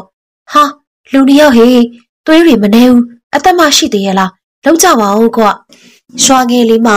မြန်မာစီးစရာတူဖြစ်တဲ့ဦးတာရင်ကတရားရနေတဲ့လူနှစ်ယောက်ကိုသွေးဆန်ကြည့်လိုက်ပါတယ်စိတ်မကောင်းစရာပဲကွယ်သူတို့ဆုံးပြီဟာဒါဆိုသက်ဆိုင်ရာကိုအကြောင်းကြားမှရမှာပေါ့လောက်ကြပါဦးဟာတယ်လီဖုန်းလေးပါလေးဆက်ကြပါဦးငါတို့ရွာစုလေးမှာလေဝေတက်နိုင်တဲ့လူတွေရှိနေပြီတယ်လီဖုန်းလေးတစ်လုံးတော့မကင်ကြတာအံ့ဩစရာပဲဟေး ဒါတော့ဟုတ်တယ်ကွာဦးမက်ကြီးတို့လိုပတ်စံရှိတဲ့လူတွေ1500တဲ့ဖုန်းလောက်တော့ဝယ်သိနေပါပြီရွာသားလူငယ်ရဲ့စကားကြောင့်အလွန်ကက်ဆေးနေတဲ့ဦးမက်ကြီးကမျက်လုံးကျုံသွားရင်ဘာကွာမင်းပိုးကြီးက1500တဲ့လူပဲပြောတာရှောက်ရင်လေလူတိုင်းရတာမဟုတ်ဘူးတဆင့်ပြန်ဝင်ရင်လေငွေ6000အထက်ပေါက်စည်းရှိတယ်လို့ငါစုံစမ်းပြီးပြီကွာ1500ကို6000ကျော်တော့ပေးမဝင်နိုင်ဘူးဟဲ့ငွေရှာရတာလွယ်တာမှတ်လို့အဲ့ဒီလို မကြင်မချဲရေရွလိုက်ပါတယ်ဒီအချိန်မှာပဲဆက်စုတက်တဲ့ရွာသားတယောက်ကတီးဆုံးသွားတဲ့ကားမောင်းသူရဲ့ပတ်စံအိတ်ကိုဖွင့်ကြည့်ရင်ဒီလူနာမည်ကကိုဝင်းမောင်နဲ့ဒီမှာပါတဲ့လိပ်စာတိုင်းအကြောင်းကြားလိုက်ကောင်းမေထင်နေဒီလိုပြောလာတဲ့ခါမှာတော့ရွာသားတအုပ်ကသူ့ကောင်းကိုဖျက်ရိုက်လိုက်ပါတယ်ငတ်တုံးကောင်လိပ်စာတိုင်းစုံစမ်းပြီးအကြောင်းကြားနေအလောင်းနေပုတ်ပွားကုန်မှာဘောကွာဒါလေးတော့မတွေးတတ်ဘူးလားဟာဟိုမှာကားလာနေပြီ ထုံးစံအတိုင်းကားတားပြီးအကူကြီးတောင်းရမှာပဲဟေ့တကောင်ရင်ချင်းဟိုင်ဝေးလန်းတပေးရှိရွာလေးဟာအမောင်တူအောင်နှစ်ချိုက်စွာအိမ်မောချနေတယ်။ကောက်ရုံးပုံတစ်ခုရဲ့ခြေရင်းမှာတော့အဝင်းရဲ့ကိုတော့ခုလိုတွေ့ရတာအားမရတော့ဘူးအတူနေချင်းမိကွာကိုအဝင်းကိုခိုးပြစ်မယ်ကွာကိုနောက်လိုက်ခဲ့တော့အသက်40ဝန်းကျင်လူပြိုကြီးဟာအဝင်းရဲ့ကိုလေးကိုတင်းကျပ်စွာဆုပ်ကန်ရင်းပြောလိုက်ပါတယ်အဝင်းက လူပြိုကြီးရဲ့ရှင်ခွင်နဲ့ခေါင်းတိုးဖက်တွေရင်ဟမ်ကိုကလေအချိန်တွေအများကြီးရှိနေဟောင်းဘာလို့ဒီလောက်လောနေရတာလဲဟွန်းအချိန်တိုင်အိမ်ရဟာကြီးကိုတရားဝင်ပြစ်စဲပြီးကိုနောက်လိုက်ခင်မှာပေါ့ခုလေဒီလောက်ချစ်နေရတဲ့ဟာမကျေနပ်နိုင်သေးဘူးလားလူလုံးနေရှင်အဲ့ဒီလိုချွဲပြစ်ပြစ်လေးပြောလိုက်ပါတယ်လူပြိုကြီးဟာအဝင်းရဲ့သေးသိမ်တဲ့ခါကိုပုတ်တန်နေရကရှင်မောတန်ကြီးနဲ့ကိုရိုရဲ့မင်္ဂလာဦးချိန်တွေကို ဟော်ရီကောက်ယူပုံမှာပဲဖြတ်ကျော်ရတာများနေပြီကွာ။ကြာရင်ကောက်ယူပုံကြီးတော့လှမ်းပြေးနိုင်နေကွာ။ကိုအဝင်းကိုတရားဝင်ပိုက်ဆိုင်ခြင်းပြီကွာ။စူးစမ်းပါအောင်အဝင်းရ။အဲ့ဒီလိုအချင်းမရဲတန်ကြီးနဲ့ပြောလိုက်ပါတယ်။ဒီချိန်မှာပဲအဆက်မပြတ်ဦးလိုက်တဲ့ခွေးဟူတန်ကိုကြားလိုက်ရပါတယ်။ဟောခွေးတော်ဦးနေပြီကိုရဲ့ဒီညောက်တော်တော်ဒီလောက်ပဲကွယ်ပြန်ချရအောင်နော်။အော်အိမ်ရောက်ရင်လေညာဟင်းသာတောက်ဖို့မမိတ်နေဘူး။ နောက်ကြတွေးဖို့အာရှိမဖြစ်မှာရှင်။လူပြိုကြီးဟာဆွဲမဲ့ဖွယ်ကောင်းလို့နဲ့အဝင်းရဲ့ပါကိုရှုခနဲ့နမ်းရှုပ်လိုက်ပါတယ်။တိတ်ချစ်တော့လေအလျှော့ပြရတာပေါ့အဝင်းရဲ့အဝင်းစန္နာတိုင်းပြန်ကြရုံမို့ကိုပြောတာလေကောင်းနေထစ်ထားအောင်နော်အချစ်။အင်းပါကိုရဲ့အဝင်းကတိပေးပါတယ်အမြဲဆုံးလုပ်ပေးမယ်ဟုတ်လား။လာသွားကြရအောင်။အဝင်းကလူပြိုကြီးရဲ့လက်ကိုဆွဲယူရင်းထားလိုက်ပါတယ်။နှစ်ယောက်သားပခုံးဖိတ်ရင် ရိုးပြက်တိုင်းရှောက်ခဲ့ကြတယ်။လူပြိုကြီးကအားမလို့အာမရဟန်နဲ့လမ်းတစ်လျှောက်လုံးအဝင်းရဲ့နှစ်ဖူးပြင်ကိုတရှုပ်ရှုပ်နမ်းရှုပ်လာပါတယ်။နှစ်ယောက်သားချစ်စိတ်လွမ်းပြီးမိုးမမြင်လှိမ်မမြင်နိုင်အောင်ရှောက်လာရင်ကမိတတိုးလောက်ပြီးပါလား။နားနာကပ်ပြီးပြုံးကနေလူကြီးချလိုက်ရတဲ့တန်ချောင်းနှစ်ယောက်သားစက်ကနေတုံသွားမိတယ်။လာရောင်ရဲ့ပုံပြပြအရှိန်အောင်လူလက်ပိုင်းအရွယ်လူတယောက်အော်ရှရှတန်းနဲ့ ဆက်လက်မီးတောင်းနေတာရွာကလူတွေများလားဆိုတဲ့စိတ်ကြောင့်လူပြိုကြီးဟာတအားလန့်သွားပါတယ်။ဗျာမီးတော်တော်ပေးချင်ပါတယ်ဗျာ။ဒါပေမဲ့ကျွန်တော်ကစိတ်လေးမတောက်တတော့မပေးနိုင်ဘူးဖြစ်နေတယ်။အားနာလိုက်တာဗျာ။လူပြိုကြီးရဲ့လမ်းဖြတ်ပြီးကတုံကရင်စကားတန်ဆုံးတဲ့အခါမှာတော့ဒါဆူလေးရပါတယ်။ကျုပ်သွားတော့မယ်ဆိုရက်အော်ရှာရှာတန်ကြီးနဲ့တူမျက်လုံးရှိမာရင်အဲ့ဒီလူကခြာကနေလှိမ့်လိုက်ပါတော့တယ်။ နှစ်ယောက်သားကြောင်ကြီးကြည့်နေမိစင်မှာပဲလာရောက်မှဒီလူရဲ့ကြောပြင်ကြီးကိုအထင်ရှာမြင်လိုက်ရတယ်။မီးလောင်ပူလိုပူသီးကြီးတွေနဲ့ကြောက်မဲ့ဖွယ်ကြောပြင်ကြီးအသက်ရှူရမတက်ဖြစ်နေစမှာပဲအဲ့ဒီလူကြီးရဲ့မျက်နှာကြီးကလှည့်လာပါတယ်။မျက်လုံးစုံပြည့်ဝပြီးသွေးတန်တရရဲဖြစ်နေတဲ့ရုပ်ပြက်စင်းပြက်မျက်နှာကြီးလူပြိုကြီးနဲ့အဝင်းဟာငယ်တိတ်မွေးပေါက်မတက်ထိတ်လန့်သွားပြီးအာကနေအတန်ကုန်အော်ဟစ်လိုက်ကြတယ်။ပြီးတော့ တယောက်လက်တယောက်မဆွေးနိုင်ရှာပဲသွေးယူသွေးတဲ့ပြေးလွှားကုန်ကြပါတယ်။သိန်းရှစ်ထောင်ကျော်တဲ့သုံးတက်တိုက်ကြီးရဲ့အဲခဲအတွင်းမှာရှက်တယ်သိရှက်တယ်ငါမျက်နှာဘယ်နာထားရမယ်မသိအောင်သိရှက်တယ်အမျိုးမျိုးအနေနဲ့ဓာတ်စီဆိုင်တွေလက်ညှိုးထိုးမလွှဲအောင်ပိုင်နဲ့တိုင်းသည့်ပြည်သည့်စီဆိုင်ပိုင်ရှင်တထေးကြီးရဲ့သမီးကကို့အိမ်မှာတောက်တူမရလှုပ်တဲ့လူကိုခိုးရလိုက်ပြေးရတယ်လို့ကွာဟေ့ပြေးကောင်းတွေဘယ်မှာတေကုန်ကြတော့အခုချက်ချင်းလာကြစမ်း တထေးကြီးဦးအိုက်စော်ရဲ့ဒေါသပောက်ကွဲတဲ့ကိုကြောက်လန့်ပြီးကြောင်မကွဲနေတဲ့ပြေးရသုံးယောက်ကငိမ်မနေအားတော့ပဲနဲ့အပြေးထွက်လာကုန်ကြပါတယ်မသေးပါဘူးတထေးကျွန်တော်တို့ရှိပါတယ်တထေးအေးရှိရင်ခုချက်ချင်းမြမပြည်နဲ့ငါသမီးကိုတွေ့အောင်ရှာခဲ့ဘယ်နဲ့ယူစရာလေးတိတ်ရှားနေသလားကိုယ့်ဝင်ကအလုံသမားနေမှလိုက်ပြေးရတယ်လို့ရေးခဲ့တဲ့စာကိုကြည်စမ်းဒယ်ရီတဲ့ချစ်သက်ကိုမိတိတ်ချစ်လို့ မိရစပြီးကားတင်ခိုးသွားပါပြီတဲ့ကောင်းရောကွာတထေးဦးအိုက်စောဆိုရက်ငါရဲ့တိတ်ကဘယ်ရောက်သွားမလဲခွေးတဲ့ရှုံးညံ့တဲ့သမီးသွားမင်းတို့မြမပြည်အနဲ့တွေ့အောင်ရှာခဲ့ကြလူအဲ့ရင်နိုင်ငံတကာထိအောင်စပိုင်လွတ်ပြီးရှာပြစ်မှာသွားကြတော့ဓာတ်စီဆိုင်ပိုင်ရှင်တထေးကြီးဦးဟိုက်စောတယောက်ဒေါသတကြီးနဲ့နီးရပစ္စည်းတွေကောက်ပေါက်ပြီးအော်ငေါက်ပြစ်လိုက်ပါတယ်။ဒီအေသုံးယောက်ဟာကားတော့ကိုစီကောက်ကင်ပြီး အဲကန်ဒီကနေလှစ်ခနဲ့ပြေးထွက်ကုန်ကြတယ်။အိမ်စီအိမ်စီတွေဘဲသေးကုန်ပြီလေ။ငါတို့တမယာယူခဲ့ကြ။စီးကြိုတကြားနေပဲဖြော်နော်။မားလို့ကတော့ချက်ချင်းအထုပ်ဆွဲရွှာပြမှုပြင်ကြ။တထေးကြီးရဲ့အတန်းကြောင့်အိမ်အတွင်းမှာတာဝန်ယူထားရတဲ့အစီကံလေးယောက်ဟာအပြေးလွှားထွက်လာပြီးတော့ဟုတ်ကဲ့ပါတထေး9မိနစ်တွင်ဖြော်ခဲ့ပါမယ်အဲ့ဒီလိုပြိုင်တူပြောလိုက်ကြတယ်ဒီအချိန်မှာ2010နှစ်မော်ရဲထုတ်စိန်ခံကားကြီးတစ်စီးပေါ်မှာတော့မိမိတယောက် အပျော်ကြီးပြုံနေရှာတယ်သူမပျော်ရွှင်နေသလောက်ချစ်သက်ဟာမျက်နှာတစ်ခုလုံးဖြူဖက်ပြီးကြောင်ရွံ့နေရှာတယ်ချစ်သက်ဟာရုပ်ရှင်မင်းသားရှုံးလောက်တဲ့ရုပ်ရှိသလိုအသားကဖြူနုနေတာချစ်သက်ရဲ့ဝိုင်းဆက်နေတဲ့မျက်လုံးတွေနဲ့ကရင်ပီပီယောက်ျားပီသားတဲ့မင်းရိုးကားကြီးတွေကမိမိရဲ့စိတ်ကိုအယူမှုဖြစ်စေတယ်။ဒါကြောင့်သူမကိုယ်တိုင်ကားတင်ခိုးခဲ့တာပါ။ချစ်သူပြန်ကြရကောင်းမေထင်တယ်။ခုလောက်ဆိုတတိအရင်စိတ်ပူနေလောက်ပြီ။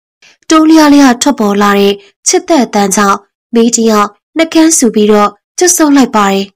။ချစ်ပါအောင်စိတ်ပူနေတာလေ။မိကိုချစ်ချစ်တယ်မို့လား။ဒယ်ရီယာချစ်တဲ့မိကိုမရရအောင်ခွဲပြစ်မှချင်းရဲ့။ဒယ်ရီယာဂုံတွေငွေတွေတိတ်မှတ်တာ။သစ္စာရှိစမ်းမှချင်းရဲ့မိကိုယုံစမ်းမှမိတို့မျိုးတစ်မျိုးမှာအခြေချပြီးတော့အေးစစ်စစ်နေကြမယ်လေနော်ချစ်မိရဲ့ဘန်ကောက်ထဲမှာထောင်နဲ့ချီပြီးရှိတယ်ချစ်ဘာမှစိတ်မပူနေကွာ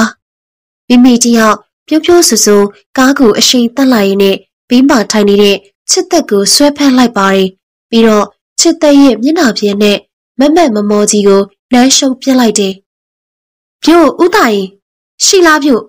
ချန်ရှိရအော်တန်ကြောင့်စီးစရာကြီးဥတာရင်တယောက်စင်းမြစ်ထောင်းနေရကကွန်တတွေထွေးလိုက်ပြီးတော့အတန်ပြုတ်လိုက်ပါတယ်။ဟာမောင်လုံးပါလား။ပျောက်ချက်သားကောင်းလာကြည်လားကွာဟေး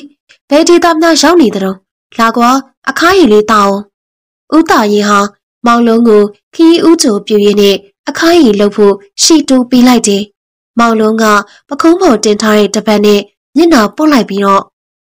ဘယ်ခီးမှမသွားရပါဘူးစီးစရာကြီးဟာကျုပ်ရိုးမတွေရောက်နေတာဗျ။တားကောင်ကြီးတွေရလို့ဖြူးမြို့စီမှာသွားရောက်နေတာလေ။စီးစရာကြီးကိုတတိယလို့သားစိမ့်တွေတော့ယူလာသေးတယ်။ရွာထဲတော့မွေရသေးဘူးပြို့။ပြောပါအောင်ရွာမရောဘာရီထူးကြနေလဲဗျ။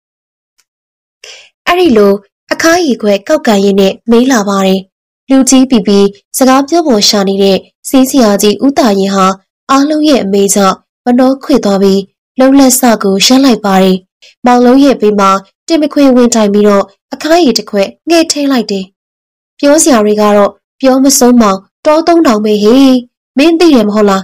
နိုင်ယူမနုနဲ့မုတ်ဆိုးမမိယုံပါလေအေးသူတို့ရန်သက်ပွဲကရော်မဟိုးလေးတကြောဖြစ်သွားတာကွ လူမလူချင်းဝေးရှိတယ်လို့ရဟန်းတန်ကမှလည်းကျင့်ဝတ်ဆိုတာရှိတယ်မဟုတ်လားကွ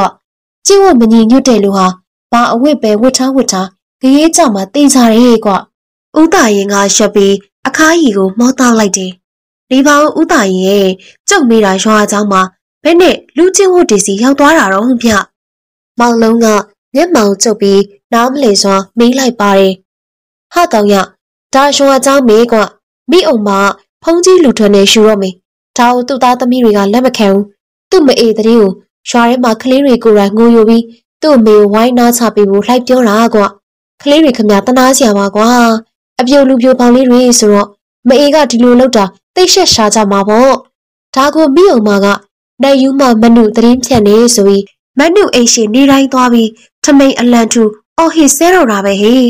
ဒါထက်ထူးတဲ့သတင်းကတို့ရွာနာကအဝေးပြေးလဲကိစ္စပဲကွာ ဥတာရင်ရဲ့အဲ့ဒီစကားကြောင့်မောင်လုံးဟာစိတ်ဝင်စားသွားပြီးဘလို့အဝေးပြေးလန်းကိစ္စဟုတ်လားဘလို့ရင်းများထုလို့လဲဥတာရင်ကကျုပ်တောင်ဒီလမ်းပေါ်ကနေပဲကားစီးပြင်ခဲ့တဲ့ဟာပြောစမ်းမအောင်ဒီလိုမေးလိုက်တဲ့အခါမှာဥတာရင်ကလေတံတီတုံနဲ့အေးအဲ့ဒီလမ်းမှာရက်ချားဆိုသလိုကားတွေမှောက်တယ်ကွမှောက်လိုက်ရင်လေကျိုးပေတာမရှိဘူးဟေ့အလုံးပွဲချင်းပြီးပဲပွဲချင်းပြီးတာအကြောင်းမဟုတ်ဘူး ခုဒုရလေးမှာဘာဖြစ်နေပြီလို့မင်းထင်လဲဒီလိုမျက်လုံးပြူးကြီးနဲ့မေးလိုက်တဲ့အခါမှာတော့မောင်လုံးတယောက်မျက်နှာငယ်လေးနဲ့ဘာဘာဖြစ်နေလို့လဲဗျဥတာရင်ကွန်းတရားကိုပဆောင်နဲ့ထိုးကြည့်ဝါလိုက်တယ်အေးခုရွာမှာတရေချောက်နေပြီအဝေးပြေးလမ်းပေါ်ကအစိမ့်တွေဟာလမ်းနဲ့အနီးဆုံးဖြစ်တဲ့တို့ရွာလေးမှာလာပြီးကြက်စားကုန်ကြပြီကွမောင်လုံးကကောင်းခါရမ်းလိုက်ပြီးတော့ဟာ မဖြစ်နိုင်လိုက်တာစီးစရာကြီးဟာကြုတ်ချားမှုတာတော့ရုတ်တရက်သေးဆုံးတဲ့အစိမ့်တီဆိုတာမျိုးဟာသူမိသားစုကိုပဲစိတ်ဆွဲပြီးခြောက်လန့်ကြတာမဟုတ်လားဘယ်နဲ့သွေးသားမတော်ဆက်တဲ့ကျုပ်တို့ရွာမှာလာခြောက်လန့်မှာတော့ဗျဒါတော့ငါမသိဘူးဟဲ့ကောင်ရအစိမ့်တရေခြောက်လန့်လိုပဲလူပြိုကြီးနဲ့ချမ်းအလုတ်သမားမောင်မြန်ရဲ့မရအဝင်းတို့ခြေပုံးခုတ်ဖောက်ပြန်တာဝင်းဝင်းကြီးပေါ်သွားတော့တာပဲဟေးဒီတို့ခိုးတွေ့ပြီးအပြန်လေ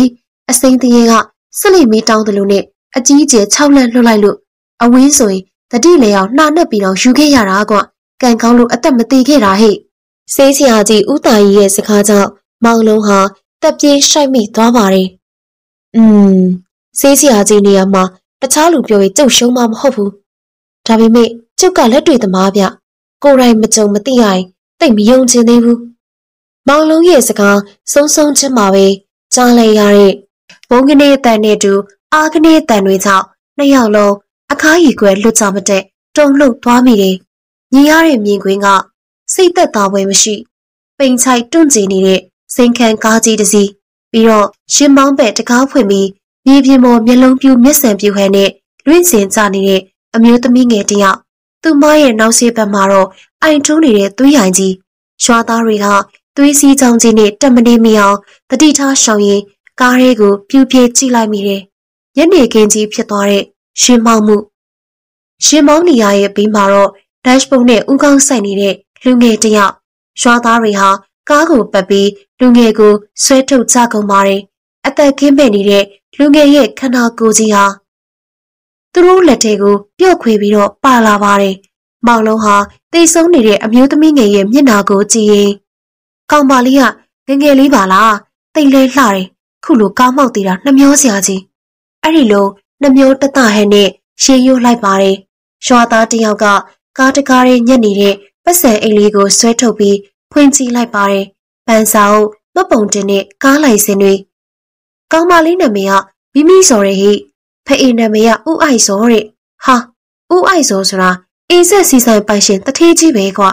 ဟုတ်လားဒါဆိုရင်ဥအိုက်စောတော့ရင်ထုမနာဖြစ်ရှာမှာပဲကွသူ့မှာသမီးတယောက်ပဲရှိလားလို့ဂျာနေထဲမှာငါဖတ်ဖို့တယ် တနာစရာကြီးပါကွာနေမြေညပြောင်ဆိုတာဒါမျိုးပေါ့တင်မီးကငယ်တယ်ကြီးတယ်မရွေးဘူးအချိန်တည်းခေါ်တော့မှာပဲအနိစ္စဒုက္ခအနတ္တာဒီချိန်မှာပဲအရှိန်ပြင်းပြင်းမောင်းနေလာတဲ့ကားတစ်စီးဟာကားမောက်ရာနေရာမှာထိုးရက်လိုက်ပါတယ်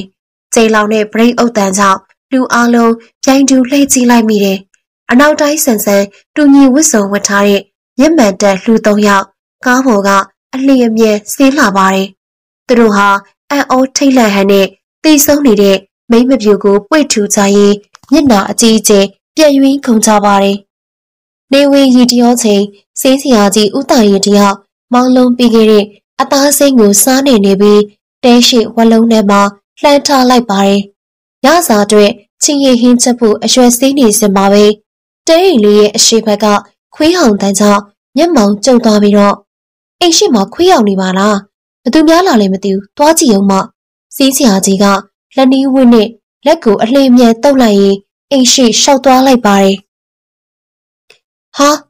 ငါလန်းသားတွေအသားတွေရှိမှာလူတယောက်ရက်နေပါလား။အလိုအသားတွေကိုလှမ်းယူနေပြီ။မိုးရွားချိန်ကြီးမှာမြင်လိုက်ရတဲ့အရာကြောင့်အံ့အားသိစိတ်နဲ့တူဒေါသပါထွက်သွားပြီးခြေလမ်းကိုပြင်းလိုက်မိတယ်။ဟေ့ဘာလုပ်နေရလဲကွာတော်တော်အတစ်ရတဲ့အသားတစ်ခု လှမ်းအော်တာတော့ထွက်မပြေးဘူးလို့စိတ်ထဲမှာတွေးလိုက်မိတယ်။ဒါကြောင့်အိမ်တောက်မှာထောင်ထားတဲ့ဝရင်တုတ်ကိုကောက်ဆွဲလိုက်ပါတယ်။အတစ်ရတဲ့တခုဝရင်တုတ်စာမိဖို့သာပြင်ပြီးတော့စီးစရာကြီးဟာကျုံးသွားပြီးတော့တခိုးကိုရှိုက်ဖို့ရွှေလိုက်ပါတယ်။ဒီအချိန်မှာပဲခေါင်းငုံနေတဲ့တခိုးဟာစက်ခနေခေါင်းပေါ်လာပါတယ်။ရဲရဲနေနေတဲ့မျက်လုံးတွေကအမောင်မှဆူးရှတယ်လို့တခိုးရဲ့မျက်နာကို ဝါကနေတွေ့လိုက်ရတယ်။စီးစရာကြီးကအသက်ရှူရမတက်မှင်တက်သွားပြီးလက်ကထုတ်ပါလွတ်ကျသွားပါတော့တယ်။ရုပ်ပြက်ဆင်းပြက်မျက်နာကြီးဒီချိန်မှာပဲဖယိုဖယဲစပင်တွေချာနေရှာကြီးကတတောင်လောက်အရှိကြီးထွက်လာတယ်။ရုပ်ကြီးဆိုသလိုရှာကြီးကအသားစိမ်းတွေးကိုစက်ကနေလှမ်းဟမ်းလိုက်ပြီးတော့ဆွဲယူလိုက်ပါတယ်။မြင်ကွင်းကြောင့်စီးစရာကြီးဟာဟာကနေရှည်ရွမရေအသားဆက်ဆက်တုံသွားရှာပါတယ်။ ပြီးတဲ့အခါမှာတော့အောင်မလေးပြတရေမတရေမကေကြပါဦးဆိုပြီးငယ်တန်ပေါင်အော်ဟိရင်နဲ့ပြေးထွက်သွားပါတော့တယ်။စီးစရာကြီးရဲ့အော်တန်ကြောင့်ရွာငယ်လေးတစ်ခုလုံးထိတ်လန့်သွားကြပါတယ်။တက်တီကောင်းပြီးစူးစမ်းကျင်တဲ့ရွာသားတချို့ကစီးစရာကြီးရဲ့အိမ်ကိုအပြေးလွှာသွားကြည့်ကြကုန်တယ်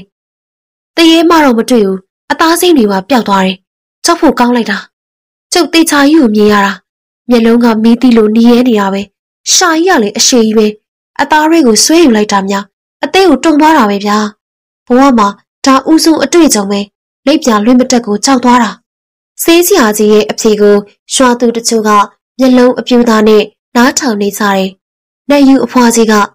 စေးစရာကြီးကတရေမနဲ့တွေ့ခဲ့တာဆိုတော့လက်ပြမတန့်တော့ဘူး။ဒါကြောင့်မနေ့ကျရင်စေးစရာကြီးကိုကံမြင့်အောင်အနောက်မေတော်နဲ့လက်ပြတိတ်ပေးမယ်တော့။ အိုအေးဘာလက်ပြမှာစိုက်ကုန်ခံပြီးတိတ်နေစရာမလိုဘာမှမကြောက်နဲ့စေးစရာကြီးရဲ့တော့အိမ်ကိုကျုပ်လိုက်ခင်မေပရီကြီး၁၁တုံးရွတ်ပြီးတော့ပြည့်ရည်ဖြန်းလိုက်စေးစရာကြီးစိတ်တန့်သွားလိမ့်မယ်။မဟုတ်တာတော့ဒေါ်ကြီးကဘာအစွမ်းတိတ်တိရှိလို့ပြည့်ရွရမှာလဲ။ကျမမှာဖုံဖုံပေးထားတဲ့ရေမဲရှိတယ်။အဲ့ဒါဖြန်းမှစီးစရာကြီးရဲ့အိမ်တက်မှာတော့ဖျားမတမကိုးခွေရမရှိတဲ့ဒေါ်မြဖြူနိုင်ယူအဖွားတို့ပုတ်ခုဆွဲနဲ့ ဖုံကြီးကိုမင်းနဲ့မအောင်မသူတို့သုံးပါစကားချီတင်ပြောရင်းနဲ့ရက်မွေးဖြစ်သွားကြပါတယ်။စီးစရာကြီးဥတာရင်ဟာမိမိကိုအကြောင်းပြုပြီးခွန်ကြီးခုငယ်ရှမ်းဖြစ်နေတဲ့မိမ၃ယောက်ကြောင့်စိတ်ပြက်သွားရှာပါတယ်။ဒါကြောင့်ဒေါသတကြီးအမူအရာနဲ့ခမားတို့အားလုံးရက်ကြတော့ခမားတို့၃ယောက်ရဲ့စကယ်ရည်လူဝေဟာတရေမထက်ကြောက်ဖို့ကောင်းနေဗျ။ကျုပ်တို့ဘသူမှဘာမှလုပ်ပေးစရာမလို။သွားကြကိုယ့်ရင်ကိုပြန်ပြီးအိတ်ကြစမ်းမှာ သွားကြဗျာ။အဲ့ဒီလိုအော်ငေါပြစ်လိုက်ပါတယ်။မနေ့၃နာရီချိန်မောင်နေတယောက်အိယာကထလိုက်ပြီးမိမထတော့လေငါတို့တစ်ဖက်ရွာဝါသားပို့ရမယ်မဟုတ်လားထကွာမိမရာအဲ့ဒီလိုစနီးဖြစ်သူကိုလှုံနိုးလိုက်ပါတယ်။อืมအစိုးရရှိသေးတယ်အပြစ်မှနေအောင်တော့မရှိသေးဘူးအိတ်ချင်သေးတယ်။စနီးတွေကအိတ်ချင်မူးတူးတန်နဲ့ပြန်ပြောရင်တစ်ဖက်လှည့်အိတ်လိုက်ပါတယ်။ ဒီချိန်တော့မှအဆင်ပြေမှမိမရဝါပုတ်ပြီးရင်ပဲဖို့တွေကောက်ရအောင်မဲကွဒီကောင်တွေက6နာရီမထိုးခင်အလုတ်သွားကြတာတော်ချအကျွေးမရပဲနေအောင်မေဒီအကျွေးပြန်ရမှမင်းလက်စွပ်လုံးလို့ရမှာနော်ထဆဲမှာကွလက်စွပ်ဆိုတဲ့အတန်ကြောင့်မက်ခင်တယောက်မျက်လုံးပွင့်သွားပါတယ်။အိုဟုတ်သားပဲဒါကြောင့်ယောက်ျားချစ်ဖို့ကောင်းလားထပြီထပြီပဲကျွေးရအောင်တောင်းရမယ်။ဒါမှဈေးကြီးတွေကရွှေစံရကြည့်ထားတဲ့လက်စွပ်လေးဝယ်လို့ရမှာ။လင်မယားနှစ်ယောက်သား မျက်နာသေးရှိမိုးချိုပြီးဝါးတွေကိုလှဲပေါ်တင်လိုက်ကြတယ်။လှဲမထွက်ခင်မောင်ဒီဟာလွင်အိတ်သေးကအရက်ဖြူပလင်းကိုထုတ်ပြီးတော့တခုခုမောချလိုက်ပါတယ်။ယောက်ျားရေမိုးတော်မလင်းသေးဘူးအရက်မော့နေပြီ။ရှင်ကပါစက်တဲ့အရက်ဝေအိပ်ပျော်သွားတတ်တယ်နော်။တော်ကြလှဲမောင်းရင်အိတ်သွားအောင်မေ။မခင်ရဲ့စကားကြောင့်မောင်ဒီကပလင်းကိုအဖုံးပိတ်လိုက်ရင်းနဲ့ဟာမိုးမလင်းခင်တောက်ထားမှပို့အလုံးလုံးနိုင်တာကွစိတ်ပူမနေနဲ့ဘာမှမဖြစ်ဘူး အဲ့ဒီလိုပြောပြီးတော့နွားကိုချိန်တိုးလိုက်ပါတယ်ပဝင်းကျင်တစ်ခုလုံးပိမ့်ပိတ်အောင်မှောင်မဲနေသလိုလှဲလန်းတလျှော့လေးတန်ကလွှဲရင်တိတ်ဆိတ်နေပါတယ်မောင်နေတယောက်တချင်းလေးညီရင်လှဲကိုမမှန်လေးမောင်းနေပါတယ်ရှောက်ကြဖေးလဲကသွားမလို့လေတော်သွားနေတာလမ်းမကြီးဘက်နော်ဟုတ်တယ်လေကွာအဝေးပြေးလမ်းပေါ်ကဖြတ်သွားမယ်ဒါမှလမ်းလေးကောင်းနေမြင်မြင်လေးရှောက်မှာကွဟမ် အဝေးပြေးလမ်းပေါ်ကလှဲမတက်ခွင့်မရှိတဲ့ဟာတော်ကြတန်ရိုက်ခံနေရအောင်မေးရှင်မောင်ဒီကကုန်းတရားကိုအင်ကြီးအိတ်တရားနှိုက်ပြီးတော့ပါစက်သေးထိုးထင်းလိုက်ပါတယ်ကြံဖန်ကြောက်နေပြန်ပြီဒီချင်းကြီးဘယ်သူမှမရှိဘူးကွဘာလို့တန်ရိုက်ခံရမှာလဲမင်းမပါတဲ့အခောက်တွေဆိုရင်ဒီလမ်းပေါ်ကပဲငါမောင်းနေစားဒါဆိုလဲပြီးတာပဲအဲဒါပေမဲ့အမောင်ကြီးတဲ့ဒီလမ်းပေါ်တက်ရမှာကျုပ်ချောက်တယ်မကောင်းဆိုးဝါးတွေရှိနေပြီရှင် ရွာမာတော်ချောက်လက်ခံနေရတဲ့ဟာမိမဖြစ်သူရဲ့စကားကြောင့်မောင်နီဟာကွန်းသွေးကိုထွေးလိုက်ရင်ဟာမိမရတစီတရေဆိုတာညဘက်ပဲချောက်လက်နာကွစောစောစီစီဘာတရေမှမချောက်ဘူးငါနားကြီးလာပြီမိမရမစက်လေးပိတ်ပြီးလိုက်ခဲ့စမ်းမအဲ့ဒီလိုပြောပြီးတော့လှဲကိုအဝေးပြေးလမ်းမထက်တက်လိုက်ပါတယ်ကားလဲမော်လှဲတက်လိုက်တာနဲ့တပြိုင်နက်မက်ခင်စိတ်ထဲစက်သိမ်းမွေးညင်းထတယ်လို့ကြီး ခံစားလိုက်ရပါတယ်ဖះဖះဒါလူတွေပွဲချင်းပြီးတည်တဲ့နေရာကြီးဒီမှာအစိမ့်တည်တဲ့မကောင်းဆိုးဝါးတွေအားလုံးငါတို့ရွာလာခြောက်လက်နေတာတစီတရေဆိုတာအချိန်ခါမီးခြောက်လက်နိုင်တာပဲအတွေးနဲ့တူသူမမောင်နီကိုလှမ်းပြီးတော့မြင်မြင်လေးမောင်းဆက်မှယောက်ျားရဲ့အဲ့ဒီလိုပြောလိုက်မိပါတယ်ဟာမင်းကနွားလေးကိုကားများထင်နေသလားကွဒီထက်မြန်လို့မရဘူးမြန်ကြီးကားဝယ်စီယောက်ျားရဲ့ ဘူးဆက်ဆက်ပြောကြောင့်သူမဘာမှမပြောဘူးတော့ပဲဘေးဘီဝဲရကိုသာစိုးရိမ်မျက်လုံးနဲ့ကြည့်ပြီးနေလိုက်ရပါတယ်တဟီဟီနဲ့နားရဲကြားလိုက်ရတဲ့တန်ကြောင့်သူမထိတ်လန့်သွားပြီးရှောက်ကြကြားလားကြားလားအဲ့ဒီလိုလက်တို့ပြီးတော့မေးလိုက်မိပါတယ်မိမရဲ့အမေကြောင့်မောင်နီကလှေးကိုရှက်လိုက်တယ်ဘာလဲကွဘာတန်လေးသူမေးလို့မဆုံးခင်မှာပဲတဟီဟီနဲ့ငိုတန်ကြီးထက်ချလိုက်ရတယ် ဟာဒါကလေးကိုတန်မဲကွဒီအချိန်ကြီးဘယ်ကကလေးငိုနေပါလိမ့်ယောက်ျားယောက်ျားဟိုရှိကိုကြည်စမ်းမက်ခင်ကမောင်ရိပ်ချနေတဲ့လှဲရှိနေရတခုကိုညွန်ပြလိုက်ပါတယ်ကြောပင်မတ်တရက်ပင်ငိုနေတဲ့ကလေးတယောက်ဟာကောင်းဝင်လေးနေကွဒီကောင်မလေးဘာဖြစ်လဲမသိဘူးသွားမိကြည့်အောင်ပြိုးပြိုးဆူဆူမောင်နီကနွားကူကျိန်တုံရင်းနဲ့ဘိန်းလိမ့်လိုက်တယ်ဟဲ့ကလေးမ ဘာလို့ငိုနေတာလဲမင်းမိဘရရောကွမောင်နီရဲ့အမေကိုကောင်ပါလေးကငိုငင်းနေရကအိမ်ပြန်ခြင်းနဲ့အိမ်ပြန်ခြင်းနဲ့အဲ့ဒီလိုကြောပေးရက်ပြီးတော့ပြောလာပါတယ်လင်မယားနှစ်ယောက်သာတယောက်မျက်နှာတယောက်ကြီးလိုက်မိပါတယ်ကြည့်ရတာဒီနားရှော်ကကလေးထင်နေကွာငါတို့သူ့အိမ်လိုက်ပို့ပေးလိုက်ကောင်းမေ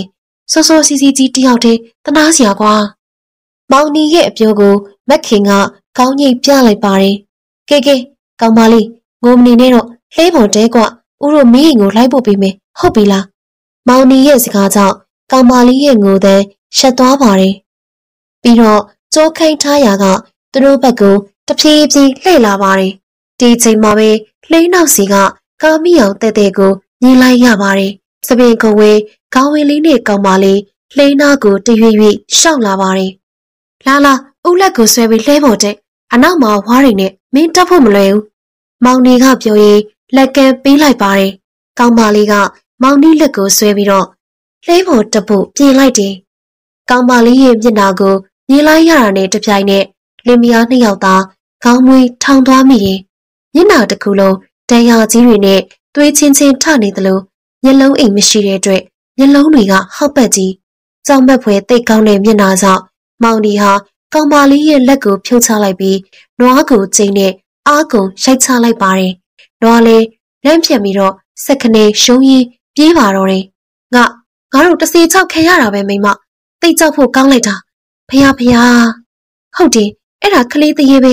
ရှင်မှတ်မိတယ်မဟုတ်လား။လွန်ခဲ့တဲ့လကအဲ့ဒီနေရာမှာလင်မယား၃ယောက်ကောင်းမောက်ပြီးတေးခဲ့တာ။ကလေးအလောင်းကအဲ့ဒီကလေးတရေပဲဖြစ်ရမယ်။ဒါကြောင့်ရှင်ကိုပြောတာပေါ့ ဒီဒီနေရာမှာမကောင်းဆိုးဝါးရှိပါတယ်လို့အခုတော့ရှုံးပြီမဟုတ်လားယင်ဒီအချိန်မှာပဲအရှိန်နဲ့မောင်းလာတဲ့ကားတစ်စီးဟာတဖြည်းဖြည်းသူတို့လဲနဲ့နီးလာပါတယ်လင်းများနှစ်ယောက်သာတစီချောက်ခင်ရတဲ့ကိစ္စကိုတယောက်တခုပြောရင်နောက်ကကားကိုတတိမထားမိဘူးရုပ်ကြီးဆိုသလိုအဲ့ဒီကားဟာပရိပေါက်ပြီးတော့မောင်နီတို့လှဲရဲ့ပင်ကိုအရှိန်ပြင်းစွာဝင်ဆောင်လိုက်ပါတယ်။ဘုံကနေအတန်ကြီးနဲ့အတူလှဲနဲ့ဝါလုံးတွေအားလုံးဟာ လွင့်စင်သွားပါတော့တယ်။ရွာကလေးတစ်ခုလုံးတိတ်ဆိတ်နေတယ်။လူအားလုံးဟာရွာပြင်ရှိတုတ်တံမှာစုဝေးနေကြတယ်။သူတို့အားလုံးရဲ့မျက်နှာမှာမျက်ရည်ရှူဝဲနေသလိုစိတ်မကောင်းခြင်းကြီးစွာခံစားနေရပါတယ်။မောင်နီနဲ့မခင်တို့ရဲ့အာတုမရွာသားတွေဟာရွာရဲ့ထုံးစံရအလောင်းတွေကိုဝက်ကက်ခင်းပြီးမြေးချကြတယ်။အဖိုးကြီးတဦးကအလောင်းတွေကိုကြည်ရင်နဲ့မောင်နီတို့လင်မယားက မတည်သစ်မဲ့တိတ်ဆုံးခဲ့ရတာကွ။အဲ့ဒါဟာစီကံချိုးဖောက်လို့ပဲ။ကားလက်မော်လှဲတက်မမောင်ရဆိုတဲ့ကန့်သက်ချက်ကိုချိုးဖောက်လို့အဖြစ်ဆိုးကြရှာတယ်။ဒါကိုနမူနာကြည့်ပြီးစီကံကိုလိုက်နာကြကွ။อืมနေမြင်ညပြောင်းဆိုတဲ့စကားတင်မယ်နေကိုကွ။အဲ့ဒီလိုရှင်းရိုးလိုက်ပါတယ်။တင်းချိုက်မြေကအာတုဘကိစ္စပြီးပြတ်တဲ့ခါမှာတော့ရွာသားတွေဟာလေးကန်တဲ့ခြေလမ်းတွေနဲ့ ပြန်ခဲ့ကြပါတယ်။မောင်နီတို့လင်မယားအစိမ့်တီတိဆုံးပြီးတဲ့နောက်ပိုင်းဟိုင်းဝေးလမ်းပေါ်ဘသူမှလှဲတက်မမောင်းဝင်ကြတော့ဘူး။နေ့လေကင်းတစ်ခုမှာတော့နေယူဖွားတို့တယောက်သူ့ရဲ့အိမ်မရှိတဲ့နှက်အပေါင်းကိုဖွာတော်ဆက်တနေချိန်မှာမိဖို့ဘကအတန်းကြောင့်ဇံဝင်နေတဲ့ဖွာနူတယောက်ဖွာတော်လွတ်ချမတဲ့ထိတ်လန့်သွားပါတယ်ဟဲ့ပလုတ်တို့အိမိရေအိမိမိဖို့ရဲ့ကြည်စံ ဘာဖြစ်လို့လဲနေယူဖွာနုတယောက်မြေးဖြစ်သူကိုလှမ်းခုံလိုက်ပြီးမြဲဘာမှတုတ်ပြန်တယ်မကြားရပါဘူးဒါကြောင့်ဟေးဒီကောင်မလေးရွာရင်းသွားနေပြီထင်နေမဖြစ်ဘူးငါသွားကြည့်မှဖြစ်မယ်တော်ချာကြောင်ဆိုရင်ညနေစာတွေကုန်သွားလိမ့်မယ်တီးခံတော်မူပါကိုတော်ကြီးတို့သမီးတော်ကြီးမိဖို့တွေခဏသွားခွင့်ပြုပါရှင်အဲ့ဒီလိုရှေးရွပြီးတော့မိဖို့ကံဘက်ရှောက်သွားပါတယ်ဟေ့ဘသူတော့စောင်းကြောက်ထိုင်ပြီး ဟီအိုးနှိုက်စားနေတဲ့အမျိုးသမီးတယောက်ရဲ့နောက်ကျောဖွားနူကမိဖို့ကဲရဲ့အဝါကနေလှမ်းမေးပြီးအထဲကိုဝင်သွားပါတယ်အမျိုးသမီးကဟီအိုးကိုလက်တစ်ဖက်ကကင်ပြီးတော့ကြံတစ်ဖက်ကအသားတုံးကိုပါဇက်ထဲပလုတ်ပလောက်ထိုးသွင်းရင်ဖွားနုကိုလဲပြန်လှည့်ကြည့်ပါတယ်။ဒါပေမဲ့သူမရဲ့ခေါင်းကလဲသွားပြီးကြောပြင်းတဲ့မျက်နှာတစ်ဆက်တည်းဖြစ်သွားပါတယ်။မြင်လိုက်ရတဲ့မြင်ကွင်းကြောင့်လက်ယူဖွားနုတယောက်သွေးဆောက်တက်မတက် လိုက်ပြတ်သွားပါတယ်။အမလီတော်ဆိုတဲ့ငယ်တန်ပေါအော်တန်ကြီးနေတူဖွားနုတယောက်ဝက်ချမ်းပေါ်ပိုင်းကနေပြစ်လေးကျသွားပါတော့တယ်။ဖွားနုရဲ့အော်တန်ကြောင့်လူတွေအပြေးလွှားရောက်လာကုန်ပါတယ်။စီးစရာကြီးဥတာရင်ကဖွားနုကိုစမ်းသက်စစ်ဆေးပြီး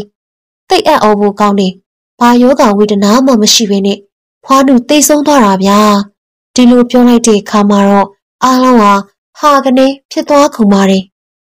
သူអော်လိုက်တဲ့တန်အကျဲကြီးပဲဗျ။ကျုပ်အပင်ရေလောင်းနေရင်ကြလို့တိတ်လန့်သွားတာ။ဖွားနုဘာလို့တေးရတာလဲ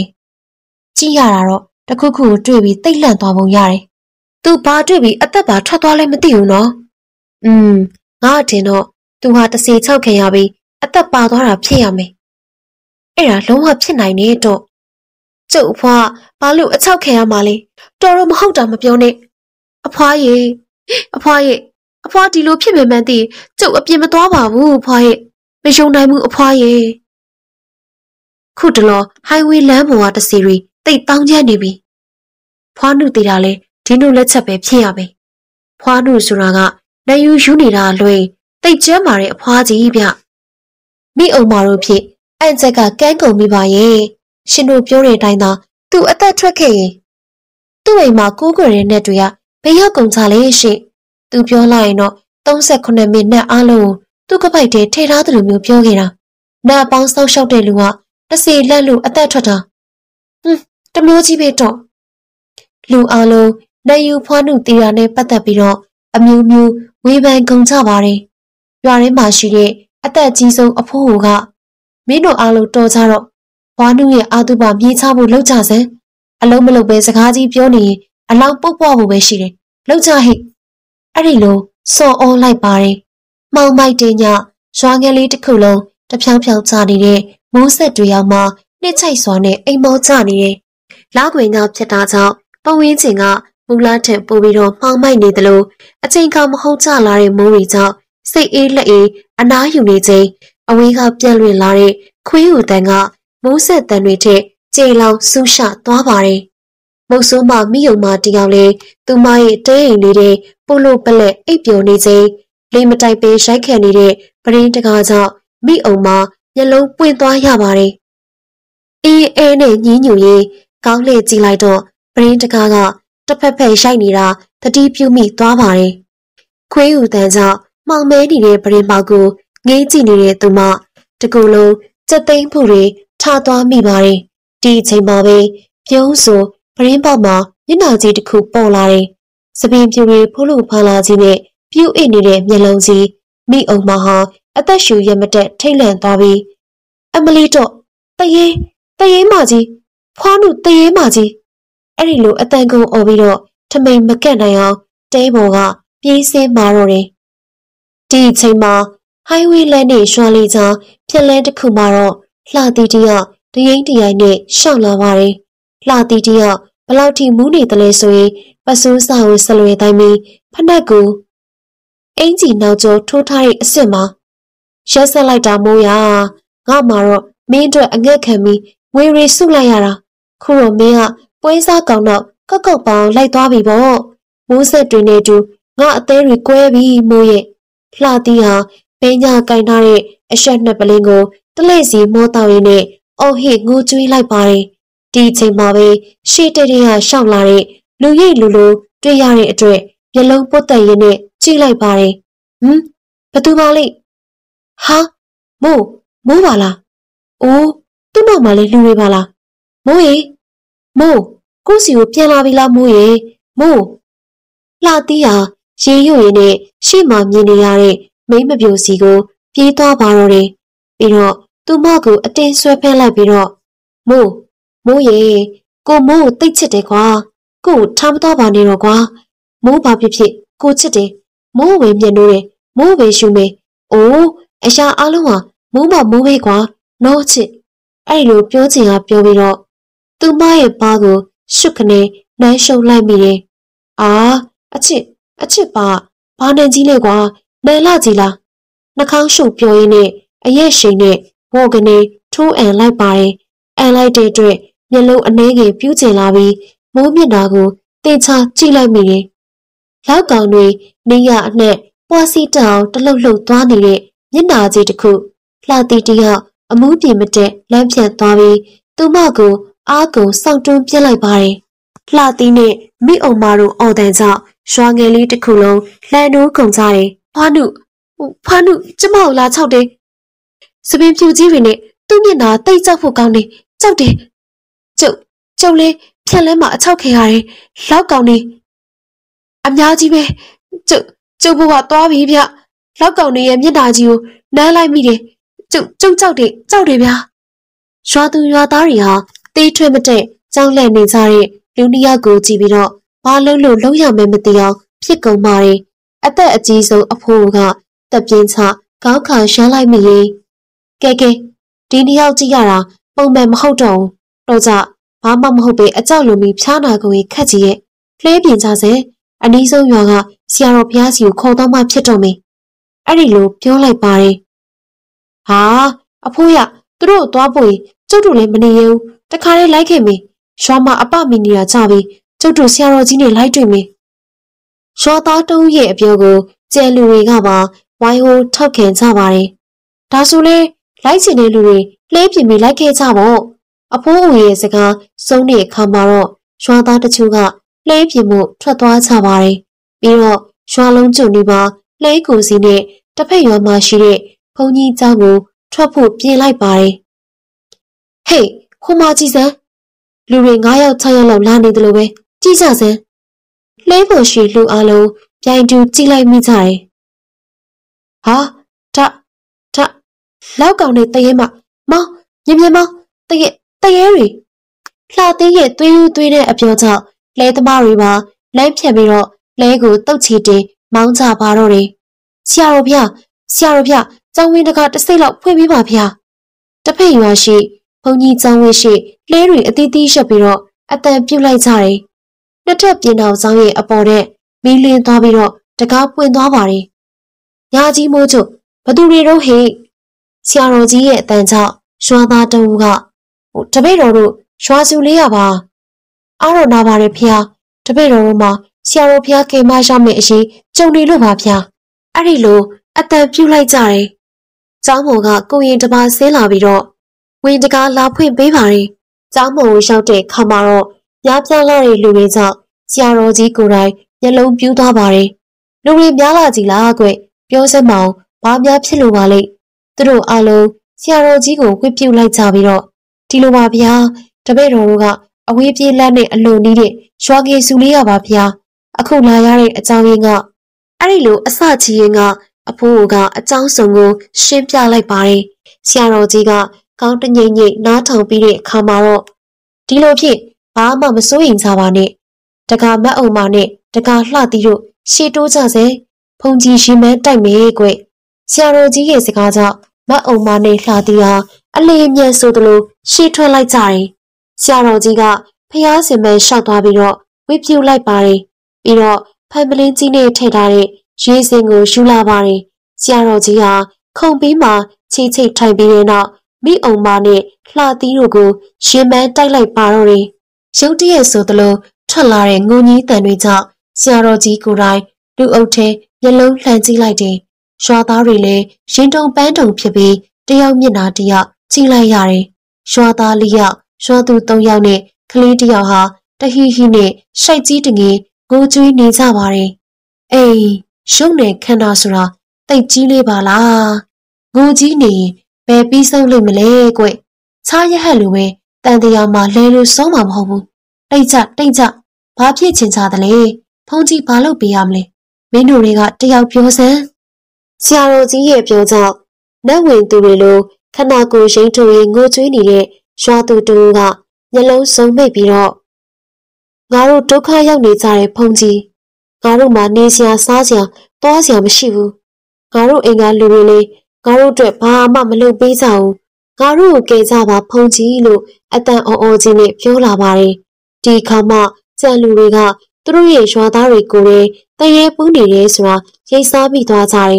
ဒါကြောင့် သူတို့အနာကနေကိုတို့ဆွဲပြီးတော့နောက်ကိုဆုတ်လိုက်ကြတယ်ဒါကိုရိတ်စားပြီးတဲ့ဆရာတော်ကြီးကဘာမှမကြောက်ကြပါနဲ့